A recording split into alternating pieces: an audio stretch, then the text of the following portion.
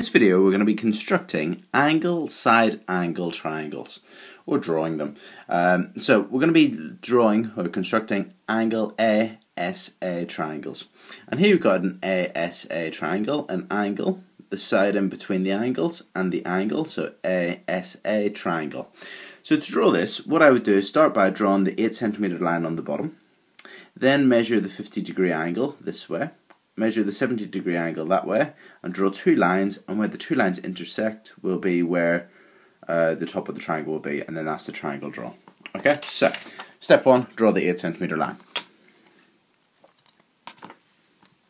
Make sure this is really perfect, really accurate.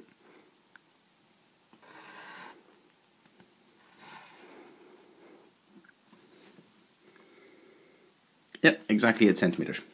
Okay, then We've got a 50 degree angle on this side, so we'll put our protractor and our zero on the line, make sure it's absolutely perfect, and measure around to 50 degrees. So zero is here on the inside, so we're going to go around to 50 here, so it's going to be exactly there. Okay, so get your ruler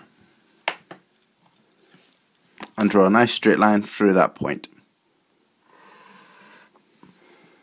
Okay, now the other side is a 70 degree angle. So get your protractor again and put it on the other side of the line this time. Go to where 70 degrees is and put a mark. So 0 round to 70.